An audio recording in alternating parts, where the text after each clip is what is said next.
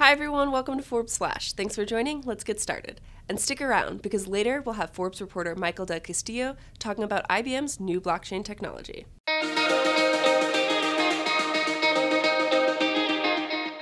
Ever wondered who the richest person is in your state? Now you can find out. For the fourth year in a row, we've put together that very list of 53, because of ties, very rich people.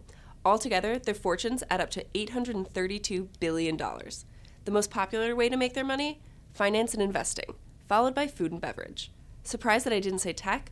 Well, there's some of those guys on the list, and they're the richest of the rich. Like Jeff Bezos, who's the wealthiest in his adopted home state of Washington. Only six U.S. states aren't home to a billionaire. Here's looking to you Alabama, Alaska, Delaware, New Mexico, North Dakota, and Vermont. You'll have to make do with your multimillionaires for now.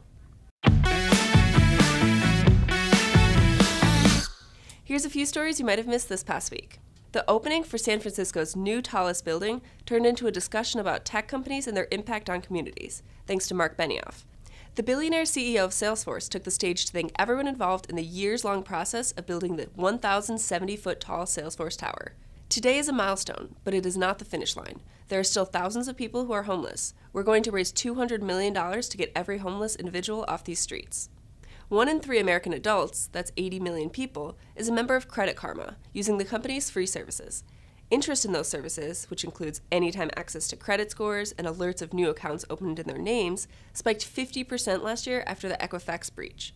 The company has built a good guy reputation, but is also making millions off the data of its members. While protecting member data is its number one priority, according to the company, you wouldn't be wrong to be wary of sharing access to your accounts. Even if you delete your Credit Karma account, your data will be stored on its servers for another two years before it's anonymized. Speaking of timetables, aviation startup Zunum Aero has a really ambitious one. They're hoping to bring hybrid electric planes to market as soon as 2022. And with backing by Boeing and JetBlue, they might achieve their goal. The 12 passenger plane is to be powered by two big electric fans driven by batteries and supplemented by power from a gas turbine generator that would shut down once the plane reaches cruising altitude. Initial test flights are planned for 2019, so we'll just have to wait and see what happens.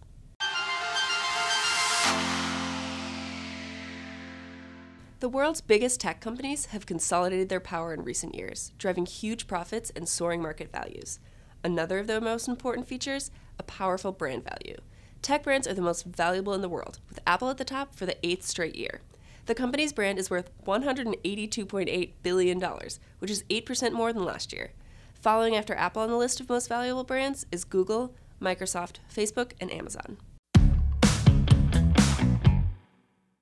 Forbes co hosted the first ever Idea Summit this week, a day long summit about diversity and inclusion in business. To catch up on insights from speakers Jesse Williams, Tina Chen, Micah Fowler, and many more, check out hashtag Forbes Idea on social. The ACLU is demanding that Amazon stop selling a facial recognition tool to U.S. law enforcement agencies. In a letter to CEO Jeff Bezos, the group and supporters highlighted the dangers of systems that bear resemblance to an authoritarian surveillance state. The tool, called Rekognition, can recognize up to 100 people in a single image and is capable of quickly finding faces in databases containing tens of millions of photos. Joining us now is Forbes reporter Michael Del Castillo to discuss IBM's new blockchain tech.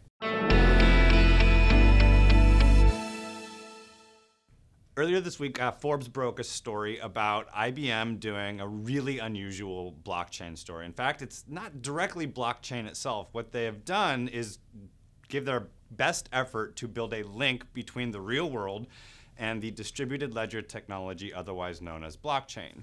The way that they've done that is by taking two pieces, um, a, a, really, really, really sophisticated lens that is capable of seeing details as small as a micron, which lets them distinguish cells of animals, and artificial intelligence. And they've merged those two together to look at everyday objects like bottles of wine, bottles of olive oil, and make judgments about them. Are, are they real? Where might they have come from? Uh, are they the same diamonds or the same uh, bottles of wine that were exported on the other side of the world earlier? The, the technology itself, um, developed by IBM, uh, which is called the Crypto Anchor Verifier, uh, is actually really cool in its own right, but when you integrate it with a blockchain, it really becomes supercharged. In a way that I think is going to be very attractive to the supply chain world, generally speaking. What I found really exciting about this technology is, uh, unlike a lot of other blockchain applications that uh, is kind of abstract and esoteric, this is something that you can literally hold on to. And IBM actually visualizes this as uh, um, not just a business to business product, but as a retail product. So you can quite literally imagine yourself in a world where you go to the bar and get a glass of whiskey, you, you can take a picture of the whiskey and see if the bartender's watered it down. You can uh, make sure that that fancy bottle of wine you bought for your date is actually a fancy bottle of wine.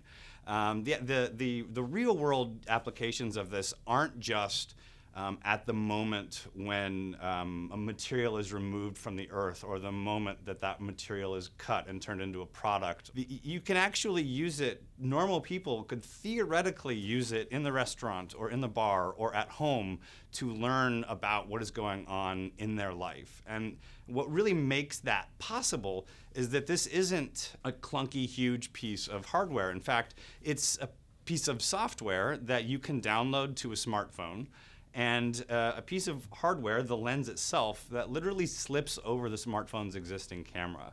So if you take a look at this crypto anchor identifier, what you're really looking at is a souped up smartphone.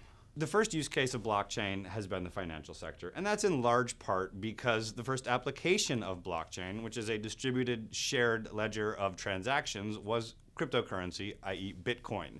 However, uh, any uh, transaction that results in the movement of one form of value to another could theoretically be used on a blockchain or any dis- another distributed ledger technology. Two weeks ago, we actually saw um, the former head of Big Four accounting firm Deloitte's blockchain announce uh, an effort to raise $150 million to disrupt the defense supply chain industry.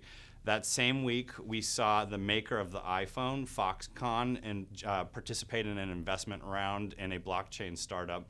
And this most recent endeavor between IBM and the Gemological Institute of America uh, has the potential to streamline uh, GIA's $331 million worth of revenue a year. So there's a lot of money at stake here and a lot of big players experimenting.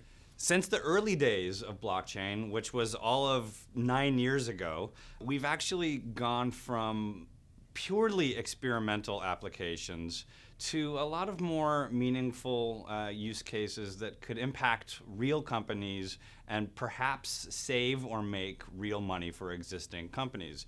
Beyond finance and even beyond supply chain, uh, we're, we're, looking to the future at entire industries that stand to be streamlined as a result of moving their workflows to the shared distributed ledger. There's two industries in particular that are that really jump out as perhaps being just on the horizon here. The first one is the, the medical industry.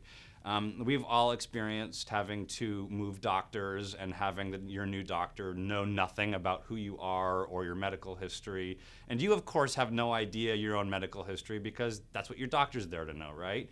Well, by moving those records to a shared a shared ledger, we could actually streamline that entire process, and it would no longer be your old doctor faxing papers to your new doctor, but everybody would have access to that in a, in a permissioned way.